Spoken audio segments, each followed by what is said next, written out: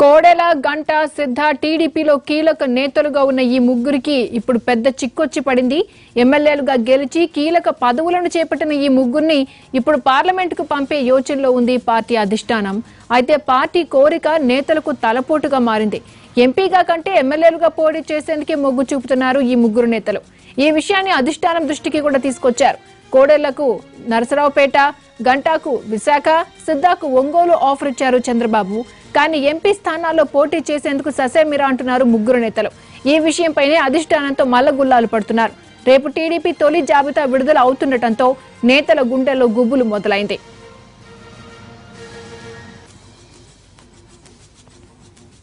ఎమ్మెల్యేలుగా గెలిచి స్పీకర్ పదవి చేపట్టిన కోడెల మంత్రులుగా బాధ్యతలు నిర్వర్తిస్తున్న గంటా సిద్ధాలను పార్లమెంట్కు పంపే యోచనలో ఉంది టీడీపీ.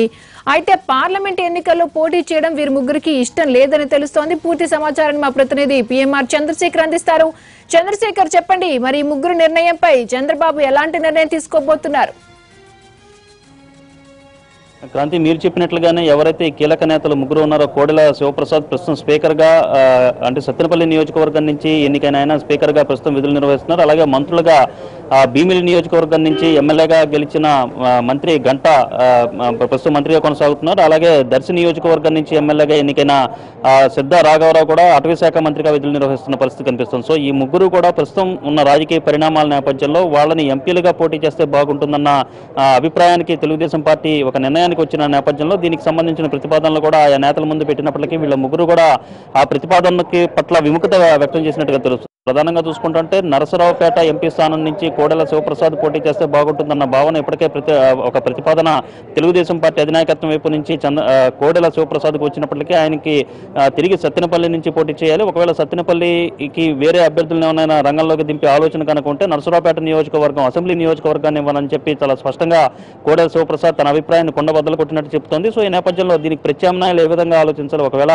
కోడెల శివప్రసాద్ కనుక ఎంపీ స్థానం నుంచి పోటీ చేయడానికి విముఖత వ్యక్తం చేసిన నేపథ్యంలో ఇష్టపడని నేపథ్యంలో ఒకవేళ ఎవరిని ఆ స్థానాన్ని ఆ స్థానం నుంచి పోటీకి దింపాలి బరిలోకి దింపాలి అన్న దిశగా కూడా టీడీపీ అధినాయకత్వం కసరత్తు చేస్తుంది. సో మాక్సిమం వీలున్నంత వరకు కోడల శివప్రసాద్ని నరసరావుపేట ఎంపీ స్థానం నుంచి బరిలోకి దింపేందుకు అన్ని రకాల ప్రయత్నాలు చేయడంతో పాటుగా ఒకవేళ కుదరని పక్షంలో ఎవరిని దింపాలనే అంశానికి సంబంధించి కూడా కసరత్తు చేస్తున్నట్టుగా తెలుస్తుంది. సో ప్రస్తుతం మనకు అందుతున్న సమాచారం మేరకు పార్టీలో జరుగుతున్న చర్చ మేరకు చూసుకుంటా ఉంటే Vinukonda sitting MLA GV Anjaneyulu ఎవరైతే ఉన్నారో ఆయన్ని నరసరావుపేట ఎంపీ స్థానం నుంచి బరిలోకి దింపితే బాగుంటుందన్న ఒక ప్రతిపాదన కూడా తెర మీదకి వచ్చినట్టుగా తెలుస్తుంది. అయితే మనకు అందుతున్న సమాచారం మేరకు జీవి ఆంజనేయులు కూడా ఎంపీ స్థానానికి పోటీ చేసేందుకు విముఖత కనబరిచే అవకాశం ఉంది. కానీ ఒత్తిడి తీసుకొస్తే ఆయన ఎటువంటి నిర్ణయం తీసుకుంటారనేది వేచి చూడాల్సిన పరిస్థితి కనిపిస్తుంది. మరొకవైపు విశాఖపట్నం ఎంపీ స్థానానికి మంత్రి గంటాను కూడా టీడీపీ అధినాయకత్వం ప్రతిపాదించింది. అయితే ఆయన కూడా విముఖత వ్యక్తం చేశారు. సో అయితే భీమిలి నియోజకవర్గం లేకపోతే భీమిలి నుంచి కనుక తెలుగుదేశం పార్టీ ప్రధాన కార్యదర్శి అలాగే చంద్రబాబు నాయుడు తనయుడు లోకేష్ కనుక పోటీ చేసే పక్షంలో విశాఖ నార్త్ నుంచి పోటీ చేయాలన్న ఒక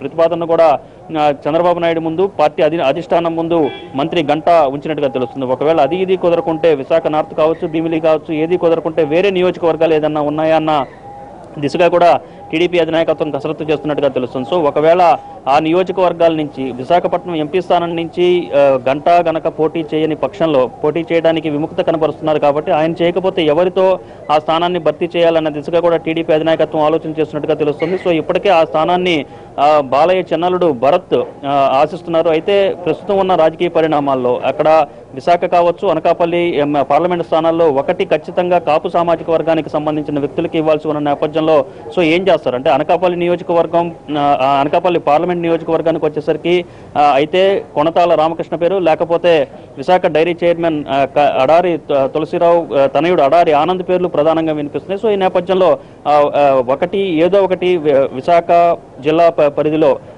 విశాఖపట్నం కావచ్చు అలాగే అనకాపల్లి రెండు పార్లమెంట్ నియోజకవర్గాల్లో ఒకటి కాపు సామాజిక వర్గానికి ఖచ్చితంగా ఇవి ఇచ్చి తీరాల్సిన పరిస్థితులు ఉన్న నేపథ్యంలో ఏం చేస్తారన్న ఉత్కంఠ కూడా తెలుగుదేశం పార్టీ వర్గాల్లో నెలకొన్న పరిస్థితి కనిపిస్తుంది. మరొక ముఖ్యమైన విషయం మాగుంట శ్రీనివాసులు రెడ్డి తెలుగుదేశం పార్టీని వీడి వైసీపీలో చేరేందుకు వైసీపీ అభ్యర్థిగా లోక్సభ నుంచి అంటే ఒంగోలు లోక్సభ నుంచి పోటీ చేయడానికి కూడా దాదాపు నిర్ణయం దాదాపు నిర్ణయం తీసుకున్న నేపథ్యంలో ఆయన ఇవాళ రేపు పార్టీని విడతారు. సో ఈ క్రమంలో ఒంగోలు నియోజక ఒంగోలు పార్లమెంట్ సెగ్మెంట్ నుంచి ఎవరిని బరిలోకి దింపాలన్న దిశగా కూడా టీడీపీ అధిష్టానం కసరత్తు చేస్తుంది. సో ఇప్పటికే ఒక ప్రచారం అయితే జరిగింది. దర్శి నియోజకవర్గం నుంచి ప్రస్తుతం సిట్టింగ్ ఎమ్మెల్యేగా ఉన్న సిద్ధ సిద్ధ రాఘవరావు మంత్రి మంత్రిగా కొనసాగుతున్న ఆయన ఒంగోలు నియోజకవర్గం నుంచి పోటీ చేస్తే బాగుంటుందన్న చర్చ కూడా జరుగుతున్న నేపథ్యంలో ఒకవేళ మంత్రి సిద్ధ రాఘవరావు కనుక విముఖత వ్యక్తం చేసే పరిస్థితుల్లో ఆయన కూడా వెళ్ళడానికి ఇష్టపడుతున్నట్టుగా లేరు. దర్శి నియోజకవర్గానికి సంబంధించిన కార్యకర్తలు కూడా నిన్న సిద్ధ రాఘవరావు ఇంటి వద్దకు వచ్చి ఖచ్చితంగా దర్శి నుంచే పోటీ చేయాలి.